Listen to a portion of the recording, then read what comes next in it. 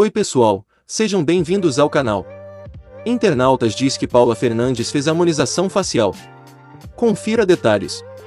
Paula Fernandes foi uma das principais atrações de um desfile de moda nesta segunda-feira 3.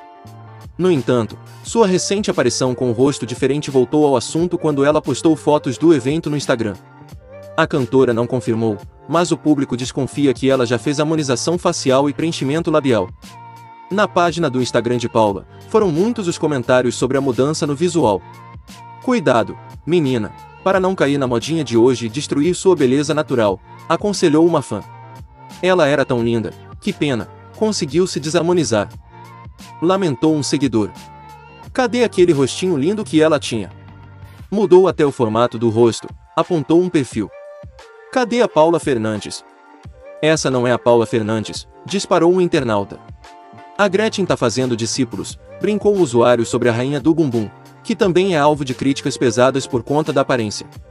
Deixe nos comentários sua opinião se ela fez harmonização ou não fez, e não se esqueça de deixar o like e se inscrever no canal. Tchau até a próxima!